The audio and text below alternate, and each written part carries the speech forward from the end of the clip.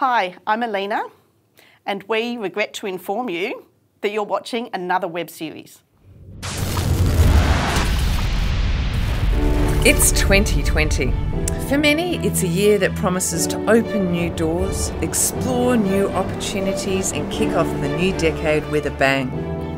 But for one Sydney sider, it was a year that would bring about a world of misfortune. Global pandemic, stuck at home, scared, what's going to happen, what's happening with the economy, Paige isn't working, Nick's doing uni from home, can't get a job. There are no jobs and there's nothing for me to hold on to. Made the whole COVID situation so very real and really scary.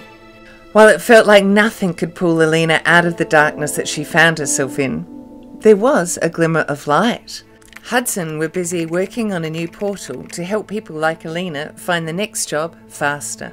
The Job Accelerator had been developed over the last few years with cutting edge new technology, and this new portal was here to help people like Alina and so many others who had found themselves in the darkness.